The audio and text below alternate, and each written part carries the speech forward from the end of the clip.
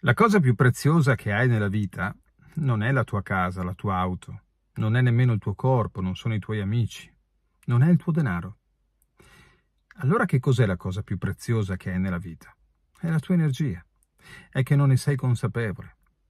Tieni presente che senza energia non vivi, non ti alzi la mattina, non puoi camminare, non puoi parlare, non puoi mangiare, non puoi nemmeno pisciare. Pertanto l'energia è tutto ma l'essere umano non ne è consapevole.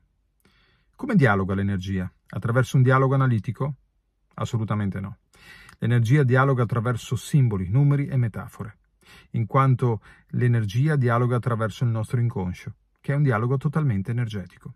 Pertanto quando conosci quella persona, non è che conosci quella persona perché il, la fortuna te la fa conoscere, no, è perché l'energia ti porta a conoscere quella persona.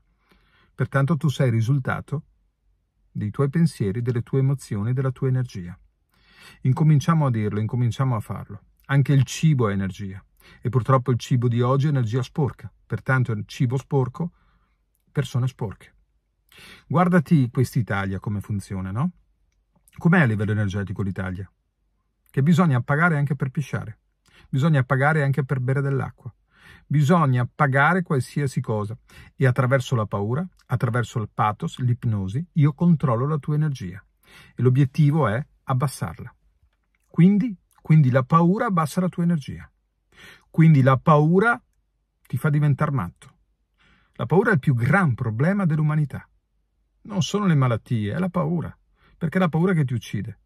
È la paura che non ti dà la possibilità di usare il cervello inconscio alla velocità emozionale e trovare la soluzione. Quindi paura più etichetta di paura uguale fallimento dell'uomo. Allora la domanda da porsi è che cosa fai per proteggere la tua energia? Niente, perché non sai nemmeno che esiste, è invece la cosa più preziosa. Una persona che ha una buona energia, una persona che ha energia, vive di amore, apre il chakra del cuore, parla di cose positive, perché una persona che invece ha un'energia sporca, si nutre di energia pulita sporcando gli altri. Ecco che un vampiro energetico non è altro che quella persona che vuole in sostanza abbassare le frequenze di uno che è felice. L'Italia può cambiare in questo?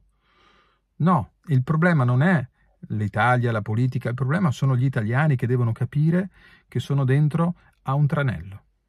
La cosa più preziosa che hai oggi, il messaggio che ti voglio dare oggi, è che la cosa più preziosa che hai è l'energia. Vuoi fare i soldi? Energia pulita. Vuoi fare business? Energia pulita. Vuoi fare qualsiasi cosa? Dialoga con l'energia e all'energia associ che cosa? Numeri, simboli, metafore. E le cose cominciano a essere più semplici, ma devono esserci persone che cominciano ad amare l'energia, iniziando dalla loro. Perché se una donna non ama la sua energia, stagli distante. Se un uomo non ama la sua energia, stagli distante, perché per vivere avrà bisogno della tua pertanto te la ciuccia. E tu che cosa fai? Rimani scarico e non sai neanche il perché. Commenta il tuo pensiero, ma soprattutto divieni consapevole che l'energia è la cosa più preziosa e più potente che abbiamo nel mondo e nell'umanità. Cerchiamo di proteggerla.